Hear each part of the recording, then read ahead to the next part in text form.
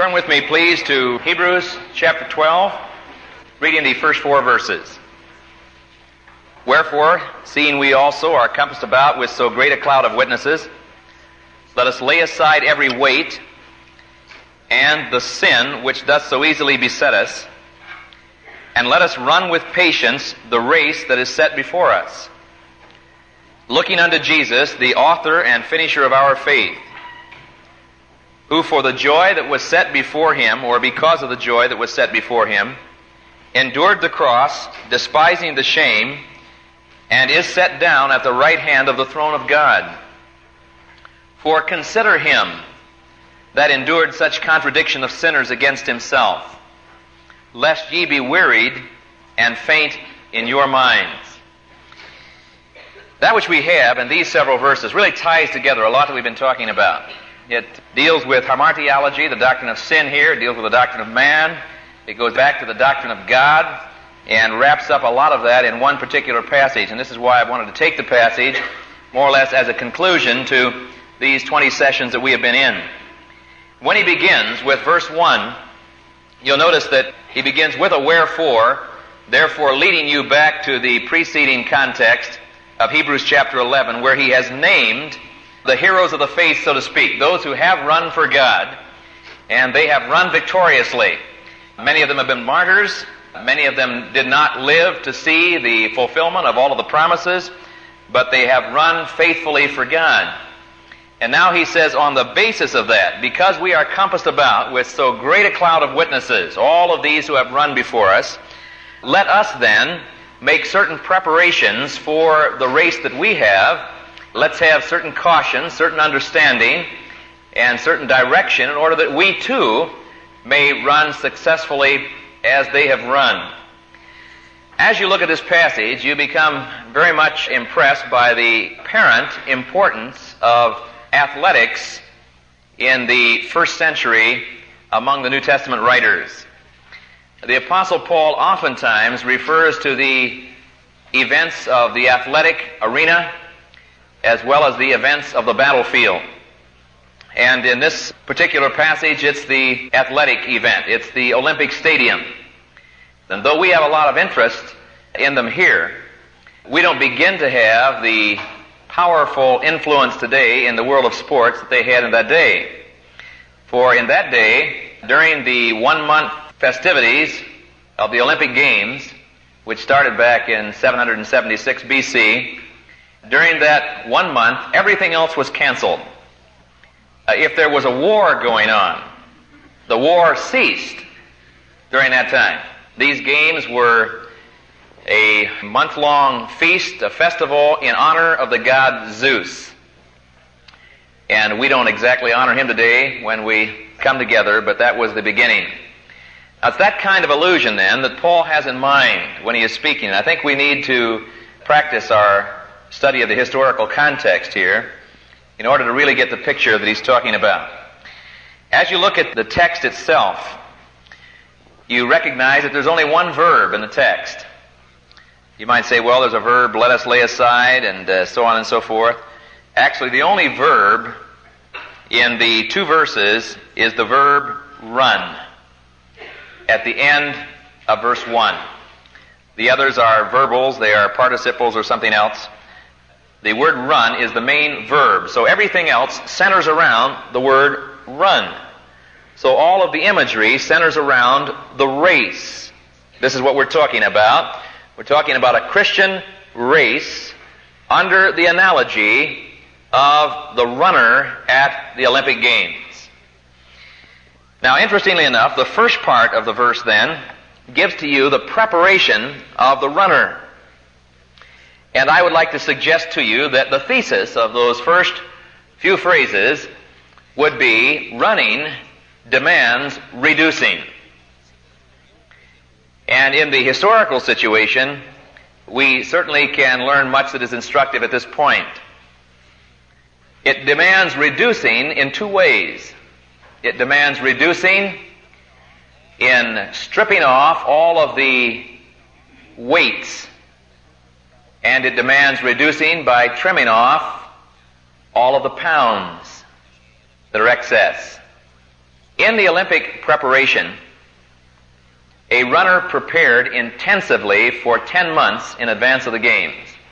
And much of the preparation involved running with weights.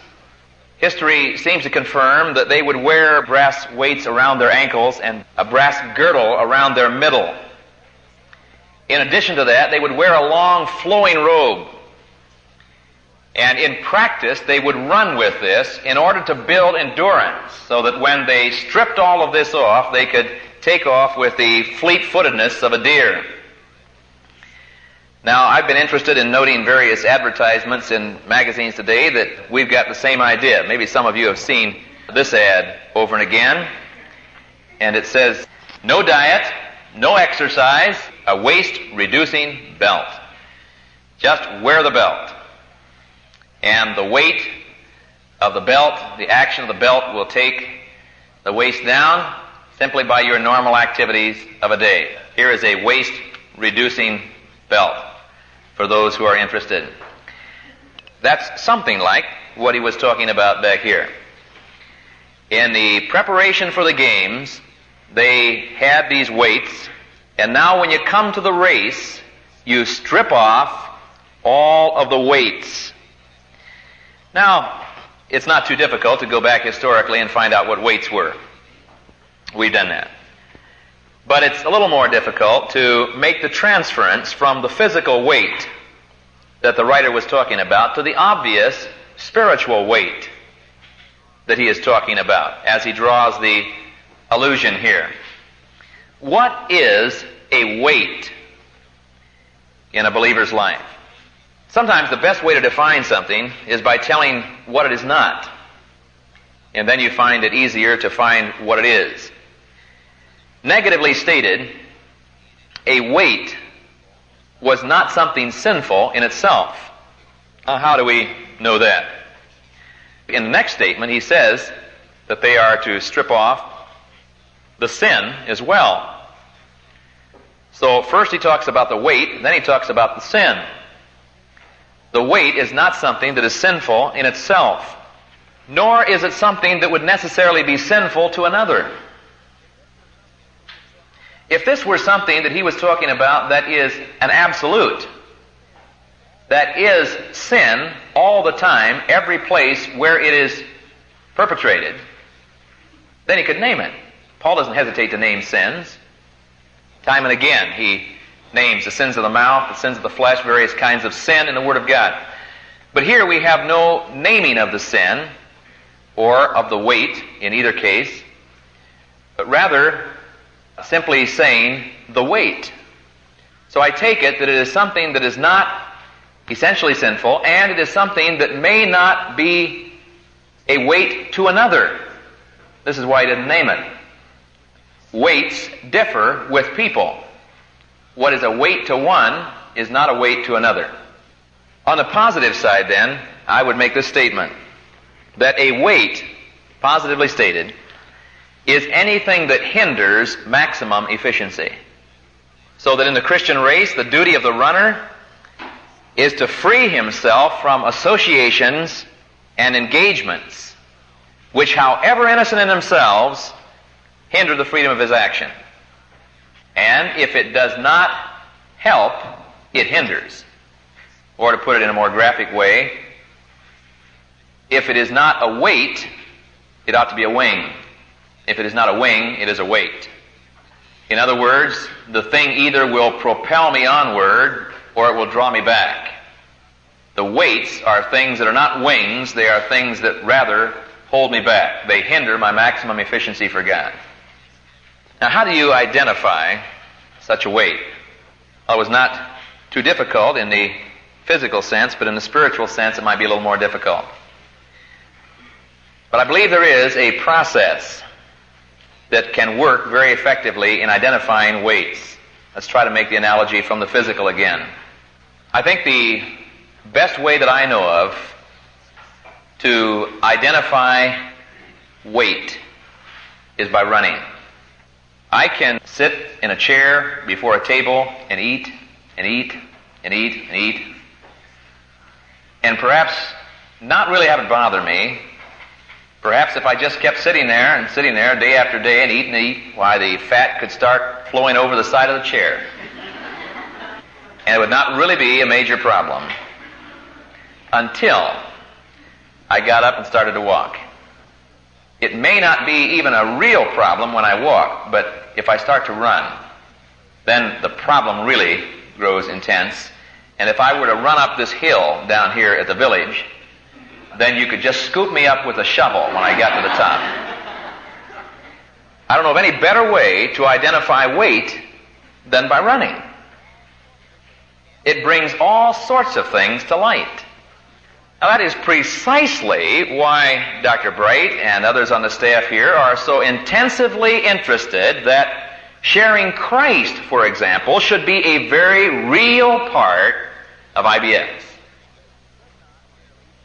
That we should not merely sit and soak and sour, but that we should soak up a lot of truth and then get out and activate it. For it is by running that we will identify our weights. And as far as I can understand it, witnessing concerning Christ is one of the major ways that a Christian runs. There may be many other activities in the race. It may be a veritable spiritual decathlon. Prayer and reading my Bible and witnessing and a number of other things. But certainly, witnessing hits right at the heart of it, of running. So if I want to identify my weights, my own set, then I need to start activity. I need to start running the race. Now, once I start running, then I also need, secondly, to be sensitive to the voice of the Holy Spirit. I ought to be characterized, if you were to draw a character comic strip of a person, you ought to draw it as a, a, sensitive Christian being one who has great big ears and a little tiny mouth. That is, people who have really learned to listen to God's Word. A number of years ago, I had the opportunity of riding a tremendous horse in eastern Oregon that was very, very well trained. And I was not equally well trained. And I hadn't been used to riding this type of horse, the kind I usually ride. You have to kick them and beat them and hit them, everything else to get them to do anything. Jerk the reins one way and jerk them another way. On this particular horse, you didn't have to do any of that, but they didn't tell me that. And I shall never forget that I got onto this horse, and I usually lean forward quite a ways. This horse had been taught that just to lean forward a bit, it took off. to lean forward more than a bit, it took off faster. To lean way forward, gone. And I got on, and I leaned way forward, and that horse took off, and I stayed right there. Now that is called a believe it or not, meek horse. Men in the Kentucky Derbies who have been winners again and again have said the greatest qualification in a horse is a meek horse. A meek horse is a horse that responds to the least movement of the jockey. And you barely lay the reins one way or another way, and you've got action. You move your body one way or another way, and you've got action.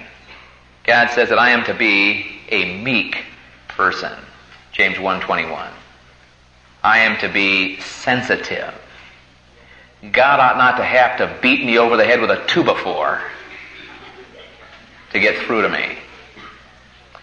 I used to exercise horses for the Multnomah County Fair, and I never, ever saw a jockey get up in the saddle with stirrups on and begin digging those stirrups into his horse.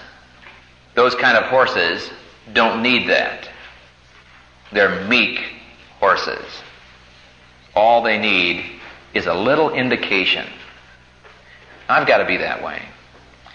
That's where the Word of God comes in. By having the Word of God settled down in my heart, it becomes the working principle so that then as I start to run, the Spirit of God has got raw material that He can rely on. He can come back and probe me lightly in one place or another, and immediately there is the response. Because in the activity of running now, He brings back all of the resource that I've put down there the Word of God that He can now work on. So He applies it. But I've got to have a mind and a heart and attitude to listen to what God is saying through that which I put in my heart. That's a second step. A third thing that I believe is mandatory, and I believe in this order, by being honest. I believe we do it by running, by listening to the Spirit of God through the Word of God, and by being honest. And many of us are terribly dishonest. Not with other people, with ourselves. We lie to ourselves. We cheat ourselves through all kinds of rationalization gimmicks. And if I'm going to really run effectively, I've got to be honest. You know, if that guy has given training regulations and he sits down to a meal and eats that which he is not supposed to eat because nobody is looking, who is he hurting? Only himself. A couple of years ago, I was sitting down to eat with Joe Warkentien, the national decathlon champ at that time, and was preparing for Olympic competition. And I'd never seen a guy who scrutinized what he ate more than he did. He not only could name the things in his plate like peas and carrots and potatoes, and there weren't any potatoes there, but he could give you the chemical elements in them practically and the grams that were involved. And he worked out six hours a day every day. He didn't even carry a job. His wife was working so that every day he could work out six hours a day so he could win some piece of medal in the Olympic Games. Now, that's not to decry the thrill of that kind of a contest. But boy, that sure pales into insignificance when we think of the contest we're in. You know, I hear people say, uh, this is one of those dishonest gimmicks, really to excuse their much activity, they say, well, I don't want to rust out for God. I want to burn out for God.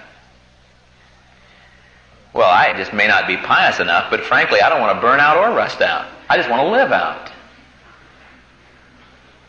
It took me 23 years of school to learn anything. It takes some of us longer than others. And I want to use it for a while. I don't see any particular advantage in cutting my life short.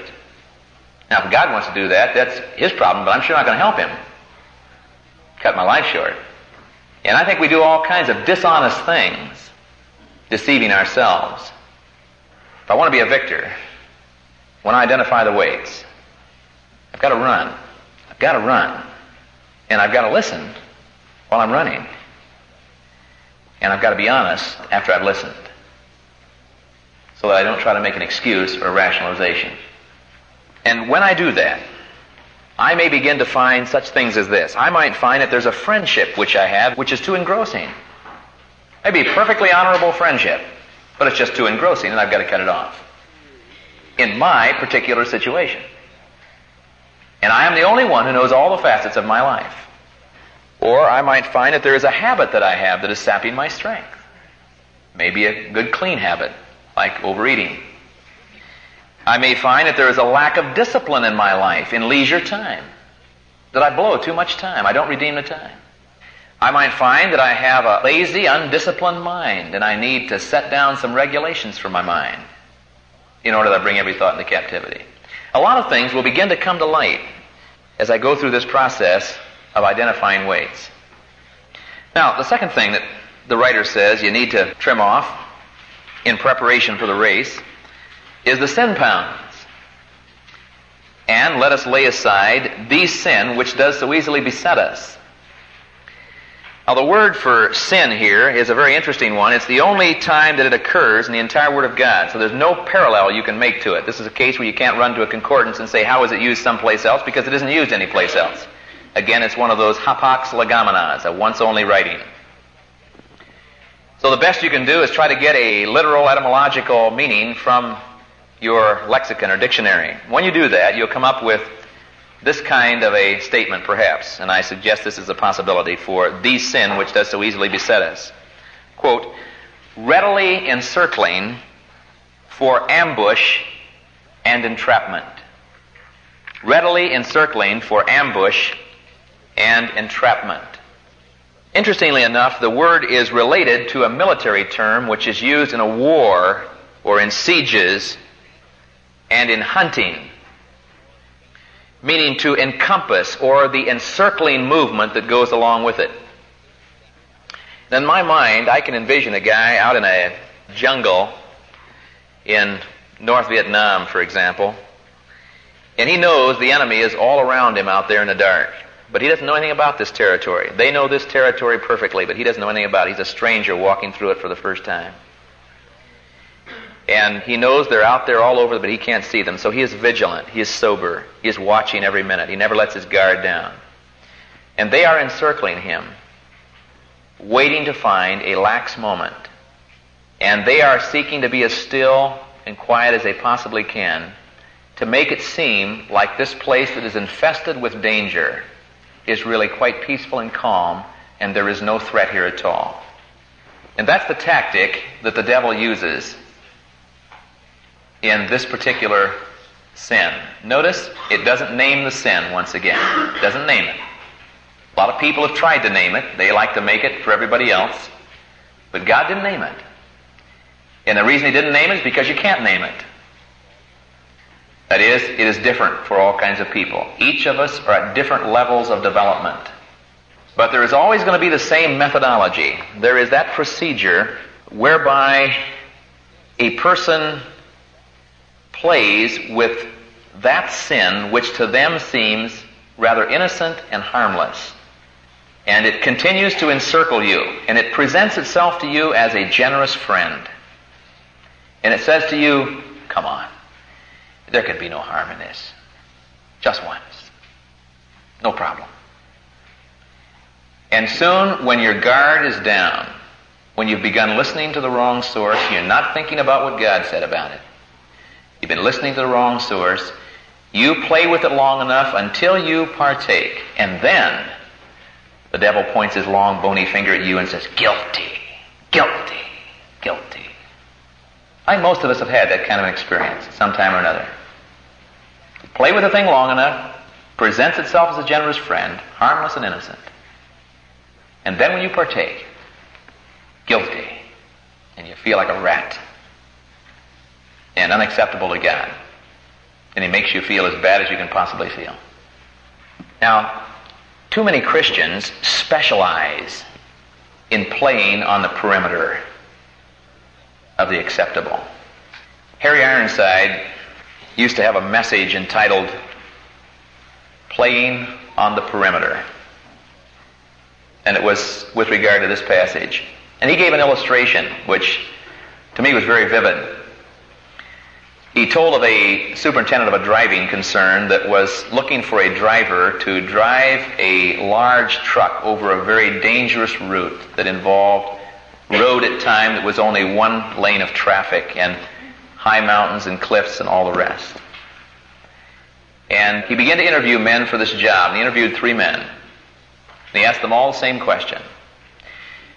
He explained to them the situation and said, Now, how close do you think you could drive to the edge of that cliff without going off? And the first driver responded he thought he could drive within a, a foot of the edge of the cliff and not go off. He thanked him, brought the second one in, gave him the same situation, asked him the same question, how close could you come? He said, well, I've had a lot of experience. And he said, I think I could drive within six inches of the edge of the cliff and not go off. And he thanked him and brought the third driver in and asked him the same thing, same set of circumstances. How close could you come? The driver said, well, sir, I've driven for many years. I've got a good accident-free record. And he says, I think I could drive very close to the edge of that cliff. He said, But I want to assure you of something. I'd stay as close to the other side of the road as I possibly could. And he said, You're hired. Too many Christians specialize in how close can I come to the forbidden without getting into trouble. Find this time and again in the relationships of men and women in college, premaritally. How far can I go? Time and again you get that question. How much can I do? How far can I go without getting into trouble? Rather than saying, you know, I'll stay way to the other side. I don't want to get into trouble. I don't want to dishonor Christ. No, we test it. We play with it. And the more we flirt with it, the more alluring it becomes. And devil has got his set for everybody. And yours are not mine, but I've got mine. I want to assure you that when I walk downtown in San Bernardino and walk by a tavern, that doesn't bother me one bit. When I see a group of people who are hooked on drugs, I don't have any allurement to that at all. Those things are not my problem. Alcohol, drugs, so forth. But I have my problems. And I don't intend to elaborate them for you, but God knows them and I know them. And I know that there are areas of my life where the devil never relaxes. And if I would relax, that would be just exactly the thing he would want, to let down my armor at that point, and that would be the occasion for the vulnerability for his fiery darts. Continual vigilance. Now he says, trim off the sin pound and strip off the weight, the entangling garment. If you really are interested in success in the race. Now, the average run of the mill person who doesn't care about winning won't exercise this kind of thing on his body. But Paul will who says, I beat my body, I keep it under, lest that by any means, after I have preached to others, I myself should be disqualified. Historically, when those guys stripped, they really stripped. Our word gymnasium comes from the Greek word gumnos, which means naked, and that's the way they ran. And I noticed that track stars today don't run in football outfits. In fact, that little pair of shorts they wear can almost be wrapped up in one hand.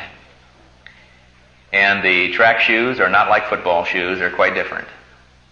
He gets down to the bare minimum. And God says, run light.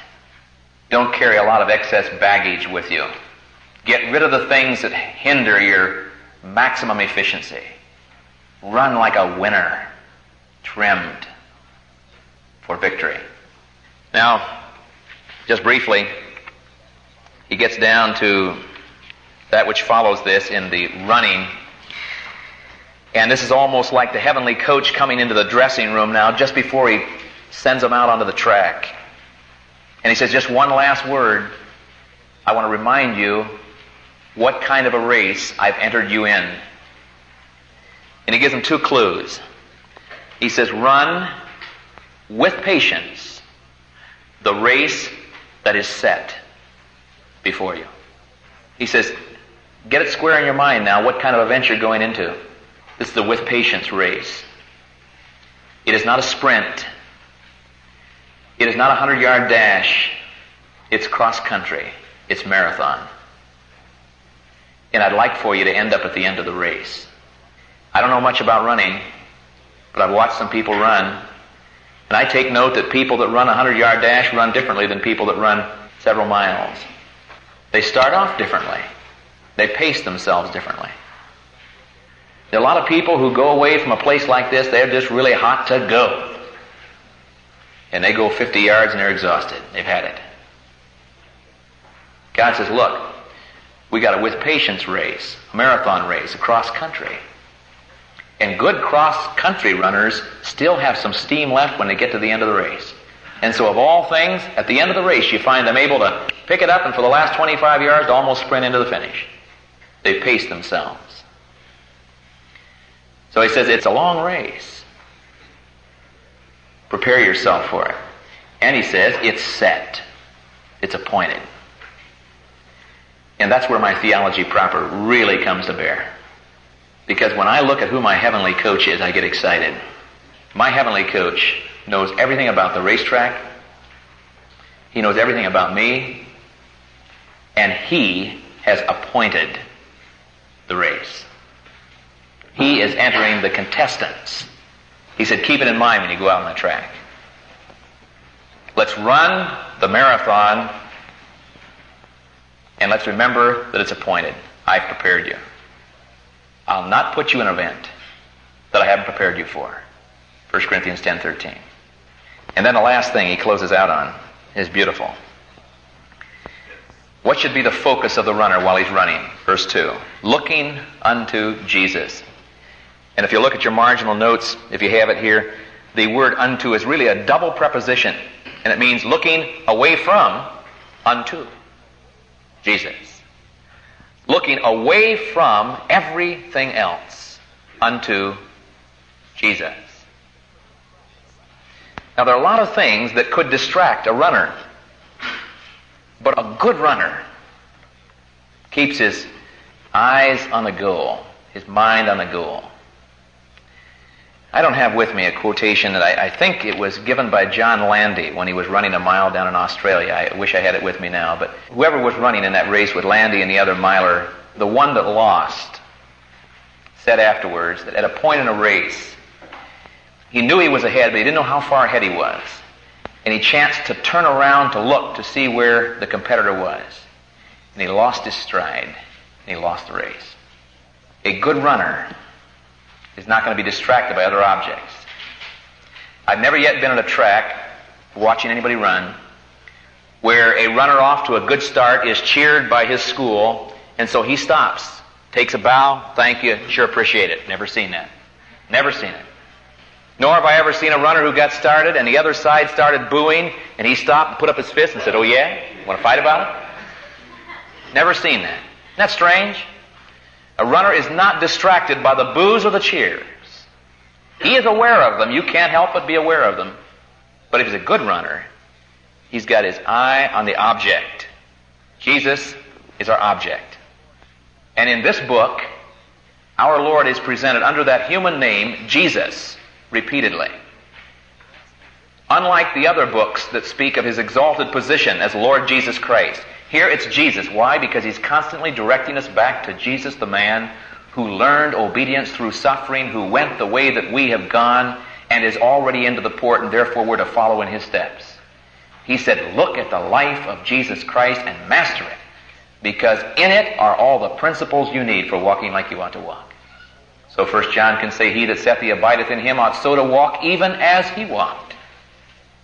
Or Peter can say we are to follow his example. We're to walk in his steps.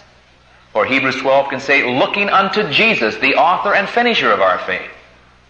The one who started it and the one who will finish it. Or Philippians 1 6, he who has begun a good work in you will perform it until the day of Jesus Christ. Look unto Jesus. Let this mind be in you, which was also in Christ. Be thinking the things that Jesus Christ thought. Jesus is my pattern in the Gospels. Let me conclude with an illustration. My wife and I were driving across northern United States one time to go over to the East Coast. In going across northern Idaho, we were going up toward the Continental Divide. And sometime before the snow started to come, and snow kind of scares my wife, so she began to exhort me to put chains on. And frankly, I think that chains sometimes do more harm than good in snow, and so I didn't pay much attention to her, and she took note of that and kept exhorting me. We moved along the highway, and finally we went by a service station where a lot of people were getting chains. She said, Don't you think you ought to buy some chains? And so I pulled in and found out they were charging about twice as much as they ought to charge for them, just taking advantage of the people. And so I went on back out, and we drove on again and started to go up the hill and gone past some other places. And she noted some cars that slid off the side of the road. And so she continued to exhort me about, don't you think you ought to stop and put the chains on? And finally she saw a freighter that had slid off the side of the road. She began to get pretty nervous.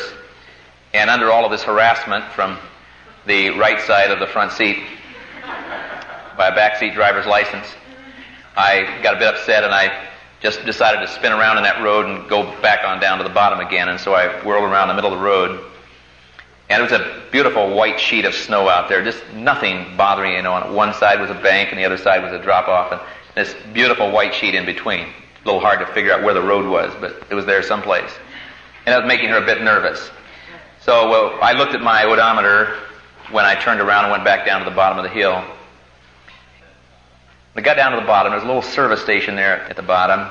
It was one of those kind, it's a combination of everything. You know, they've got a little gas, and a little grocery, and a little variety, and a, a path, and an outhouse, and everything else that you need for emergency. And we got all taken care of there. I asked the fella, how far is it to the top of the hill? And he said, five miles. And I had been 4.2 miles up that hill. And I just felt sick. I thought eight tenths of a mile from the top. And I turned around and came back down. My wife didn't have anything to say, and that was fortunate for her. and we went back out, we got in the car again, and we started up the hill. But my wife sat there with perfect peace. She did not harangue me. She did not tell me how to go get chains. She didn't tell me anything now. She sat there and I sensed that she had real calmness about her. You know what made the difference? Between the time that we had come down and the time we went back out to go back up again, two cars had gone by. And they had left two sets of tire tracks in the snow. So that there no longer was that vast white blanket out there with a cliff on one side and a bank on the other. But now there were two sets of fresh tire tracks. Somebody has been this way before. And it changed her whole sense of well-being. We were now following somebody that was still ahead of us, and I knew they were ahead of us because the tracks were there. And I could follow in their tracks. That's exactly what God is saying to us. God is saying, I have laid the tracks down in Jesus. He has been this way before. Now then, with that recognition, look away from everything else unto Jesus and consider Him, and you cannot help but come out on top.